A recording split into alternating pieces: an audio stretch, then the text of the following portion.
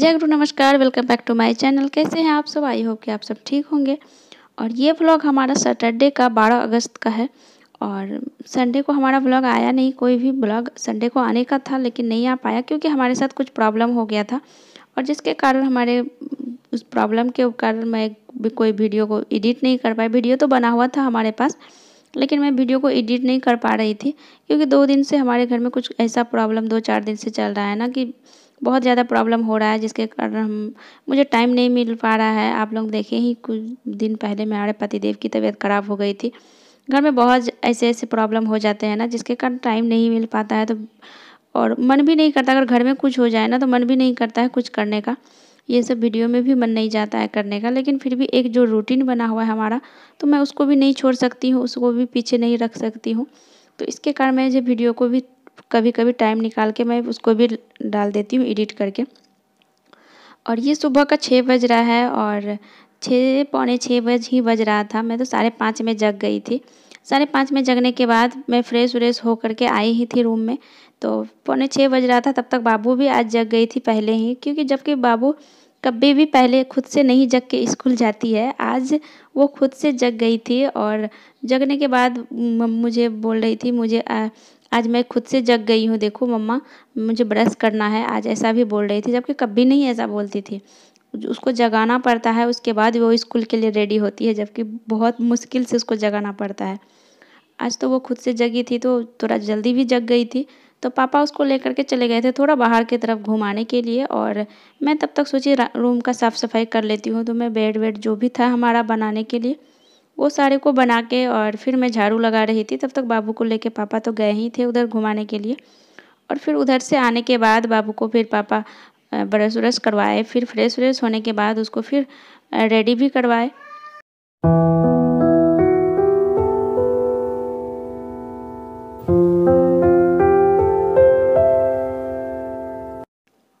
तो फिर झाड़ू कंप्लीट करने के बाद, झाड़ू लगाने के बाद फिर मैं आ गई थी बाबू को खाना खिलाने। खाना वाना खिला के आज तो सैटरडे था। सैटरडे को बाबू के स्कूल में वाइट ड्रेस होता है। तो उस दिन उसको मैं वाइट ड्रेस तो पहना दी थी, लेकिन एक बार हमारे साथ ऐसा हुआ था ना कि पिछले सैटरडे को ही, इससे पिछले सैटरडे को एक, मुझे याद ही नहीं था कि आज सैटरडे, मुझे ऐसा लग रहा था आज फ्राइडे है। तो मैं उसको रेड वाला ड्रेस ही पहना करके स्कूल भेज दी। जब स्कूल गई तो फिर वहाँ से मुझे कॉल करके बता रही है थी बाबू कि मम्मा, आज तो मुझे वाइट ड्रेस पहनना था। आपने मुझे वो रेड कलर वाला पहना दिया। क्यों पहनाया? क्यों पहनाया? ऐसा कर रही थी। तो मैं बोली सॉरी बेटा, मुझे याद ही नहीं रहा। बिल्कुल भी याद नहीं रहा कि आज सैटरडे है। ऐसा हो गया था पिछले सैटरडे को। तो आज तो सैटरडे था तो आज तो मुझे ऐसे गलती करना नहीं था। मुझे अच्छी तरह से याद था कि आज सैटरडे है और मैं मोबाइल भी देख ली थी कि सैटरडे है या कौन सा डे है आज। तो फिर बाबू को वाइट ड्रेस पहना के रेडी वेडी करके उसको स्कूल भेज दिए थे। और वो जब स्कूल चली गई थी तो फिर उसको उसको भेजने के बाद फिर मैं रूम में आई तो पोछा बाकी था हमारा घर का। झाड़ू वाड़ू तो बेड वेड क्लीन तो सब कुछ हो चुका था। पोछा बाकी था तो सोचे पोछा भी लगा के कंप्लीट कर लेते हैं, उसके बाद नहाना धोना जो भी होगा, उसके बाद होगा। और दो, बाबू का स्कूल में दो घंटे का रहती है तो दो घंटे ही रहती है स्कूल में तो उसके लिए उसको पति देव भी स्कूल से छोड़ के आते नहीं है हस्बैंड वहीं पे रह जाते हैं। दो घंटे वहीं पे रुकते हैं, उसके बाद स्कूल से साथ में ले करके ही आते हैं। तो इस दो घंटे में मेरा बहुत सारा काम तब तक निपट जाता है मॉर्निंग में। और अगर बाबू घर में होती है ना तो थोड़ा परेशान भी करती है, कुछ काम को करने में डिस्टर्ब भी करती है, ये मत करो, वो मत करो, मैं करूँगी, मुझे दो, ये चाहिए, वो चाहिए, ऐसा करने लगती है। तो वो नहीं रहती है तो इस दो घंटे में मैं बहुत सारा काम निपटा लेती हूँ, बहुत जल्दी जल्दी भी हो जाता है और सारा काम को मेरा।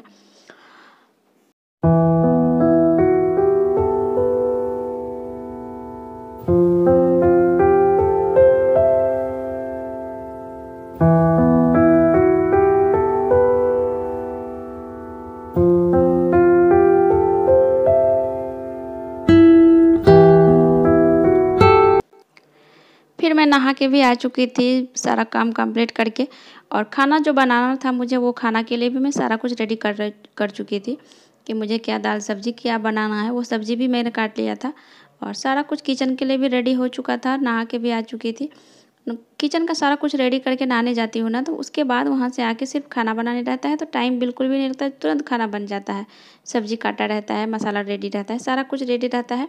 खाना बनने में टाइम बिल्कुल भी नहीं लगता है। तो सारा कुछ रेडी करके फिर मैं नहाने जाती हूँ डेली ऐसा करती हूँ। और नहाने के बाद ना एक अलग सा फील होता है सुबह सुबह नहा लेने से।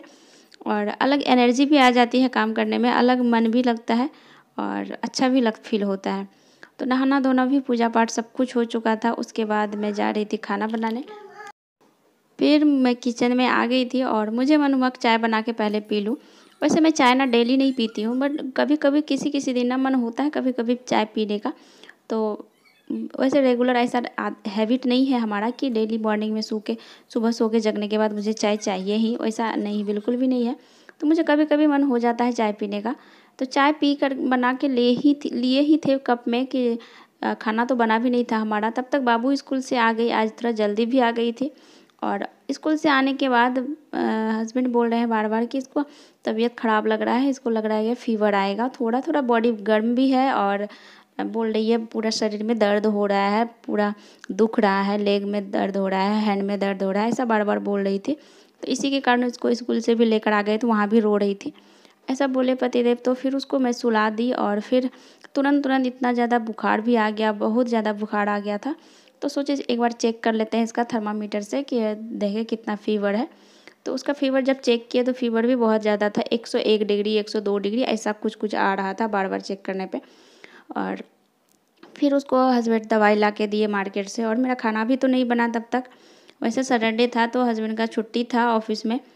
तो ऑफ़िस तो गए नहीं थे, उस दिन छुट्टी था तो हमारा खाना में थोड़ा लेट भी हो रहा था तो मुझे इससे कोई प्रॉब्लम नहीं हो रही थी। और बट बाबू का इतना तबीयत ख़राब हो गया ना अचानक से, मुझे बहुत दुख हो रहा था, बहुत बार बार रो भी रही थी इतना ज़्यादा और मुझे छोड़ना ही नहीं चाह रही थी, बार बार बोल रही थी मुझे मम्मा के पास रहना ही है, मम्मा के गोदी में रहना है। अगर कुछ हो जाए ना बाबू को तो हमेशा बोले कि मम्मा के साथ ही रहना है, मम्मा के गोदी में ही रहेगी। और अचानक से ऐसा हो गया। रात में ही वो थोड़ा थोड़ा बोल रही थी कि मुझे तबीयत मेरा लेग में दर्द हो रहा है, मुझे देखो ना मम्मा फीवर है, ऐसा बोल रही थी। लेकिन उस टाइम में था नहीं तो हम लोगों को उतना लगा भी नहीं। और स्कूल से ही आने के बाद ऐसा अचानक से हो गया।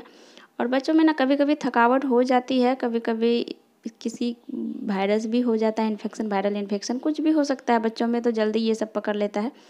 तो ये समय अभी फिर उसी दिन का, और उस दिन इतना ज़्यादा तबीयत ख़राब हो गया ना, कुछ खाई पी भी नहीं, पूरे दिन भूखी थी, कुछ भी नहीं खाई थी तो कुछ लेकर भी आते थे तो कुछ खाना नहीं चाह रही थी।